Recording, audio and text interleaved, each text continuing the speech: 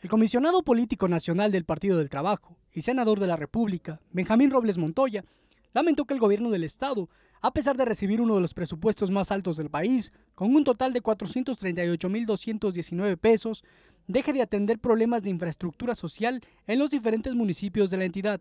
En conferencia de prensa, el senador de la República informó que este lunes pedirá a la titular de la Procuraduría General de la República, Areli Gómez, una respuesta contundente sobre la denuncia presentada en contra de Gabino Cue Monteagudo por desvío de recursos. Porque tenemos la comparecencia de la Procuradora en el Senado de la República y bueno, pues entre las preguntas que haré, me toca intervenir en esa comparecencia, pues le voy a recordar el tema de la justicia que está pendiente aquí en el Estado. Yo le entregué en propia mano eh, una solicitud para que se revisara vía una demanda que presenté de carácter penal, pues por las irregularidades que se habían estado cometiendo aquí en Oaxaca.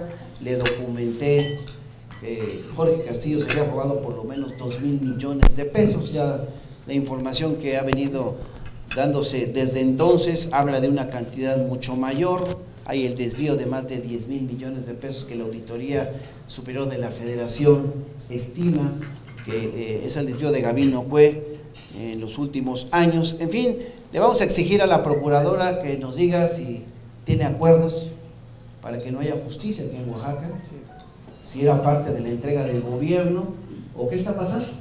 Está el asunto de las empresas fantasmas, que eh, en contubernio con quienes han estado en el gobierno del Estado, pues se aprovecharon para robarse el dinero.